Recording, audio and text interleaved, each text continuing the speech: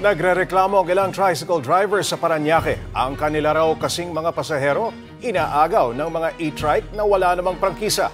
Ang ending, apektado tuloy pati ang kita nila. Para bigyan ng mukha ang balita, Mobile Zorno King Senko.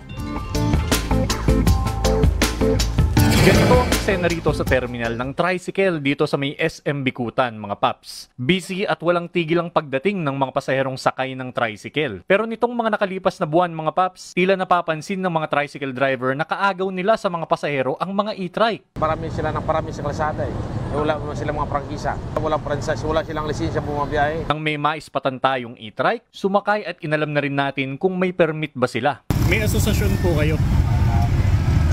Kanya-kanya po. Oo, kaya nga, dyan lang kami sa labas, baka kami sa loob.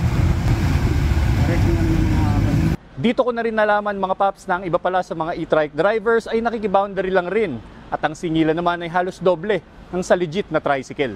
Nga lang mga paps dahil walang humuhuli sa mga e-trike, lamang ang mga ito sa mga lugar na kayang puntahan. Habang ang mga lehitimong tricycle may linya at rutang sinusunod. Ang resulta, lugi talaga ang tricycle sa kanilang kinikita. Nung umpisa, hindi mo masyadong ramdam. Pero habang tumatagal, dumadami sila, naramdaman mo na yung naepekto ng ano talaga. Dahil siyempre, sila nakakalamang dahil nga kinukontrata na nila doon. Pero kung ang ibang mga pasahero ang tatanungin, dun pa rin daw sa legit, unfair po dun sa ano sa mga nag effort para hindi sila din po ba yung iba nahuhuli.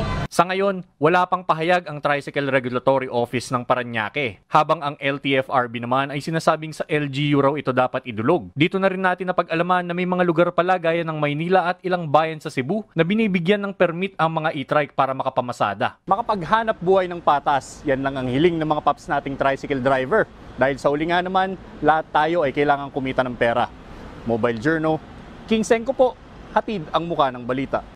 Gusto mo bang lagi kang updated sa mga balita? Aba, ay simple lang. Mag-subscribe ka na dito sa 1PH. I-click mo lang ang subscribe button at notification bell para hindi ka nahuhuli sa mga balitang dapat mong malaman.